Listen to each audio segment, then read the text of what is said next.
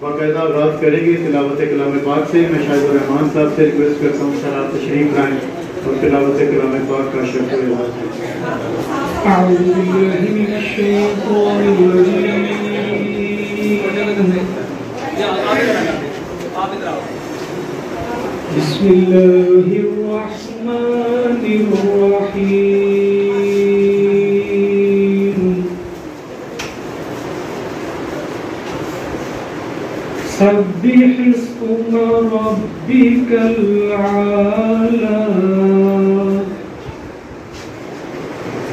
काके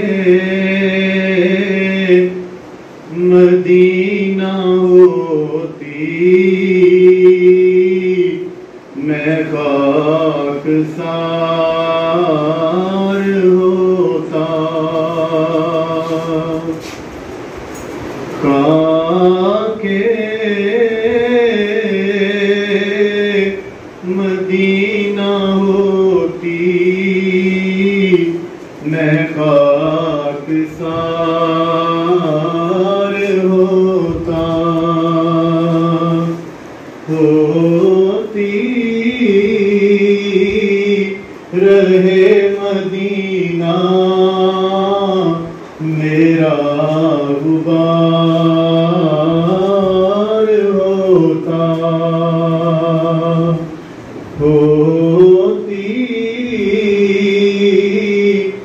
रहे मदीना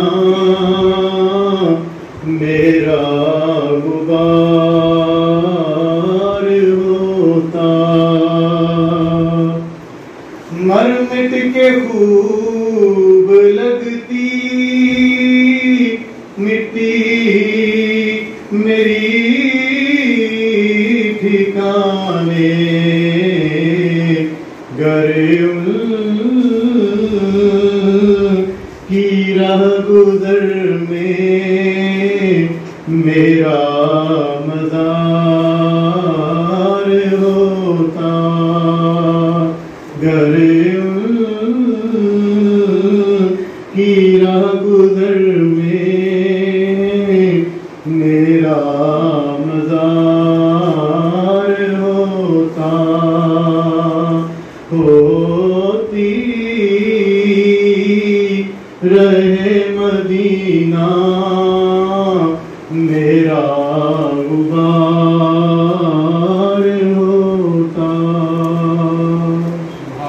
माशाल्लाह, जजाकल्लाह।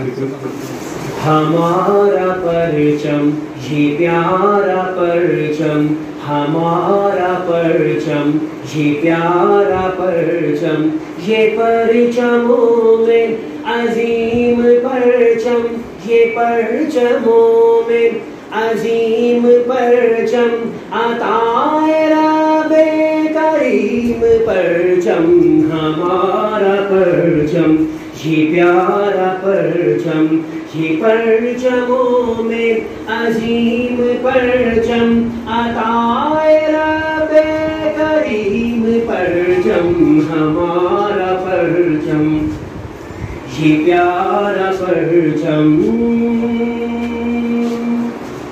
फिजा में नभ में लुटा रहा है, शाऊर मिल्लत जगा रहा है। दिलो नज़र में समा रहा है। तमाम आलम पे छा रहा है। यही निशान हसब हमारा। हमारा परचम ये प्यारा परचम, हमारा परचम ये प्यारा परचम परचमों में अजीम परचम, ये परचमों में अजीम परचम, अताए रबे करीम परचम, हमारा परचम ये प्यारा परचम, हमारा परचम। प्यारा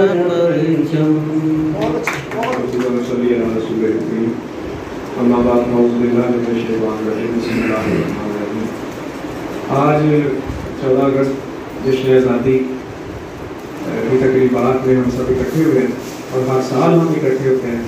असल में जश्न आज़ादी जो है, ये एक पैगाम है इस बात का कि हमें इस दिन की इस तरह से कदर करनी चाहिए कि हम वाकई एक आज़ाद कौम की हैसियत से ज़िंदगी बसर करें। और आज़ाद कौम जो है, वो अफराद का, चूँकि कौम एक मजमू होती है, हर इंसान अपनी ज़ात को और अपने आप को देखे कि मेरी जो कंट्रीब्यूशन है, इस वतन के लिए, इसकी आज़ादी के लिए, इसकी बका के लिए, इसके istehकाम के लिए, इसकी तरक्की और खुशहाली के लिए वो कितनी है। अगर हम सब अपना फ़र्ज़ अदा कर रहे हैं तो इसका मतलब है कि हम कौम की तरक्की में, इसकी खुशहाली में, इसकी आज़ादी और सालमियत को बरकरार रखने में अपना हिस्सा डाल रहे हैं। हम सब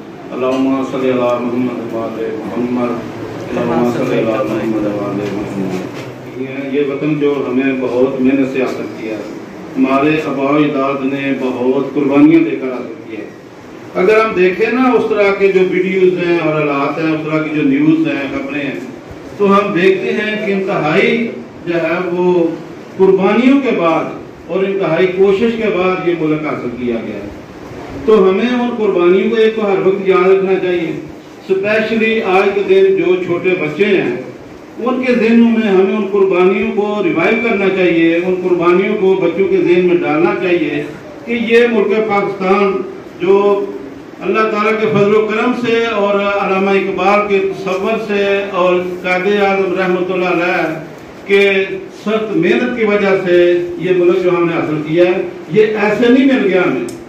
किसी ने हमारी झोली में ऐसे नहीं डाल दिया ये मुल्क। इसके लिए बहुत ज़्यादा इसके पीछे कुर्बानियाँ हैं। इसके पीछे बहुत ज़्यादा जद्दोजहद है। अस्सलाम वालेकुम। सबसे पहले 76 इंडिपेंडेंस डे आप तमाम लोगों को बहुत बहुत मुबारक हो। तो आज का दिन बड़ी अहमियत का हामिल दिन है। ये मुल्क पाकिस्तान खुदादाद पाकिस्तान हमें बड़ी मुश्किल से मिला है। तहरीक पाकिस्तान के अकाबरीन ने, मजदूरों ने और हर तबका फ़िक्र के लोगों ने इसके लिए कुर्बानियाँ दी हैं। जैसा कि आपके नॉलेज में है कि 1940 जब अलामा जब कायद मोहम्मद अली जिना ने मुस्लिम लीग में शमूलियत इख्तियार की और उससे पहले से बहुत ज़्यादा कोशिशें हो रही थी, बहुत काम हुआ। उसके बाद फिर चौधरी रहमत अली ने नाम तजवीज़ किया 1933 में, उसके बाद फिर ये काम चलता रहा 1940 में, करारदाद पाकिस्तान मंजूर हुई मंडू पार्क में। मैं समझता हूँ, बहुत ज़्यादा कुर्बानियाँ दी गई इस दौरान, और जितने भी हमारे काबरीन हैं, सर सैद अहमद खान हैं, मौलाना असद मोहानी हैं, और बहुत से नाम जो आज हमारे जहनों में नहीं है, और खातन में से बहुत सी खातन जिनकी सिपा सलाल मोहतरमा फातमा जिना है उन्होंने मुल्क पाकिस्तान के लिए और अपने भाई के साथ मिलके बहुत ज़्यादा रोल प्ले किया और उसके बाद फिर 40 से सैतालीस तक के सात साल के मुख्तर अरसा में ये मुल्क पाकिस्तान बाद वजूद में आया। आपके इलम में है कि 1940 से जो हिस्ट्री के स्टूडेंट हैं, वो समझते हैं 40 से 47 तक बहुत ज़्यादा मेहनत करना पड़ी। आपके इलम में है, आम इंतबात भी 44 में हुए 45 में, और अंग्रेज़ और हिंदू ये नहीं चाहते थे कि मुल्क दो टुकड़ों में तकसीम हो पर जो है, क्योंकि मजमुई जो सब कॉन्टिनेंट था, वो अंग्रेज़ के बहुत ज़्यादा मुफाद में था। क्योंकि आपके इलम में है, जो नॉन मुस्लिम होते हैं खास तौर पे हिंदू जो हैं, वो बहुत ज़्यादा ताबेदारी करते हैं। वो अंग्रेज़ों के बहुत ज़्यादा ताबेदार थे, लेकिन मुसलमान एक ऐसी कौम है, जिसकी बुनियाद, पाकिस्तान की बुनियाद ही दो कौमी नज़रिए पे है। और जैसा कि अभी बताया जा रहा था कि हमारे मुल्क पाकिस्तान ला इल्लल्लाह मोहम्मद रसूलुल्लाह पे है। यानी जैसा कि हमारे एक्स प्राइम मिनिस्टर साहबान और हमारे कौमतदा में हमारे जो रिप्रेजेंटेटिव होते हैं, ये बयान करते हैं जाके कि हमें इस्लाम पाकिस्तान में बहुत कम फ़र्क है। पाकिस्तान और इस्लाम एक ही चीज़ है। पाकिस्तान इस्लाम का कला है और नबी वसल्लम की ज़िंदगी, नबी वसल्लम की जात और नबी वसल्लम की आल हमारे लिए बहुत मोहतरम है। और जब भी इनके मतलब बात होती है, कुरान मजीद, फुरकान हमीद के मतलब बात होती है, कोई बेहरमती होती है, नबी वसल्लम की शान में कोई गुस्साही होती है तो हमारे दिलों को कुछ होता है। और फिर हम ये नहीं देखते कौन हमारा जो है ऊपर फॉलोअर्स है, हमें जो है ना वो कौन हमें सपोर्ट कर रहा है मॉरली फाइनेंशियली तो फिर हम नहीं देखते। ये अमेरिका को, बरतानिया को, फ्रांस को बताया गया कि हमारे दिलों के करीब हमारे नबी वसल्लम रहते हैं। चलो, आप बच्चों के लिए मैं दो तीन शेर बोलना चाहता हूँ। ये बच्चे हमारे बेटा, आप पूरा लहराएँगे आप जरा। मोहब्बत मुझे इन जवानों से है, सितारों पे जो डालते हैं कमन और आप बच्चों के लिए शायर मशर कलामा डॉक्टर मोहम्मद इकबाल ने कहा है, मंजिल की जुस्तजू में क्यों खो गया है राही? इतना बुलंद हो जा कि मंजिल तुझे पुकारे। और शायर मोहम्मद अली जिना के मुतल्लिक किसी जो है ना, शायर ने कहा, हज़ारों साल नरगिस अपनी बेदूरी पे रोती है, बड़ी मुश्किल से होता है चमन में दीदावर पैदा। और बेटा, आपके लिए आखिरी मेरे वर्ड्स हैं my dear student please read write and learn this is best time for saving your future Pakistan जिंदाबाद बेटा भाई तो जो करें यार इतना हम काम हो रहा है खाने पीने का। जी बिस्मिल्लाह